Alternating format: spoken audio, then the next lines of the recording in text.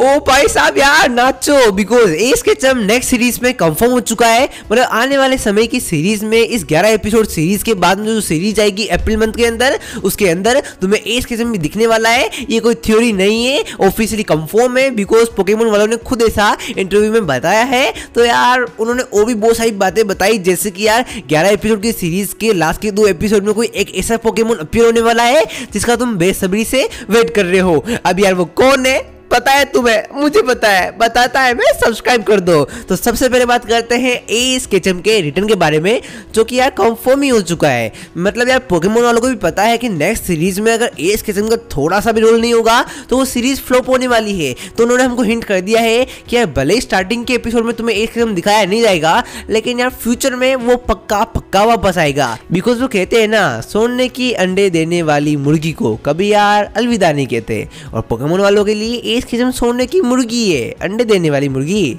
तो डेफिनेटली यार एस किस्म पक्का रिटर्न करेगा कंफर्म हो चुका है। लेकिन यार, सोचने वाली बात यहाँ पे ये है कि वो सिर्फ़ और सिर्फ़ एक एपिसोड के लिए कंफर्म होगा, या फिर यार, वो यार बहुत सारे एपिसोड में अपेयर करेगा, या फिर सिर्फ़ और सिर्फ़ केमी होगा। बस, अगर ये बात सच हो जाती है ना, भाई साहब यार, मेरे से ज़्यादा खुश कोई भी नहीं होगा। अगर तुम भी सच्चे फ़ैन हो तो तुम भी मेरी तरह खुश होंगे। लेकिन यार, ये तो फ्यूचर की बात है, भविष्य की बात है, भविष्य किसने देखा? लेकिन यार, अभी एक और भविष्य है, काफ़ी जल्दी आने वाला है। वो है लास्ट के दो एपिसोड एक ऐसा पोकेमोन अपियर होगा, जिसको तुम बेसब्री से वेट कर रहे हो। अब यार इंटरव्यू ने हमको यार शोक में डाल दिया है बिकॉज़ यार हम कौन सा पोकेमोन का वेट कर रहे हैं, वो हम भी नहीं जानते। बिकॉज़ यार, इतने सारे पोकेमोन का वेट कर रहे हैं। वो लेटेस्ट भी हो सकता है but according to the rumours यार एपिसोड सेवन में लेटेस्ट अपियर होने वाला है तो लेटेस्ट तो लास्ट के दो एपिसोड में टीज नहीं करने वाला है। तो कौन सा पोकेमोन आ रहा है माई लोड मैं जानना चाहता हूँ।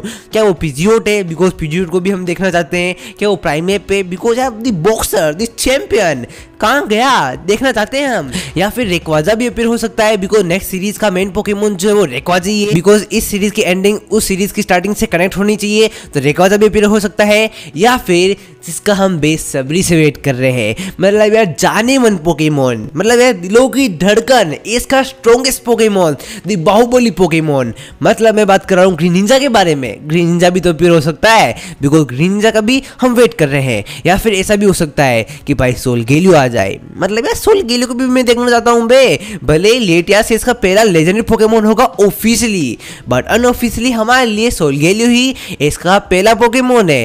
या फिर क्या हो? एंडिंग में हमको ऐसा दिखाया जाए।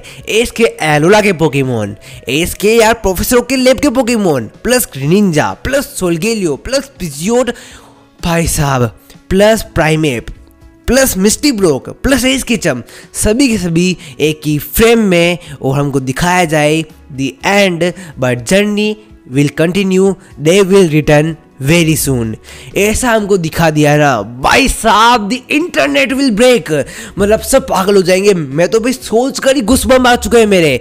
भाई साहब, कितना ज़्यादा उपयोग है वो मोमेंट एक ही फ्रेम के अंदर सारे के सारे पुराने पोकेमोन रिलीज़ हुए प्रोफेसर की लेब के।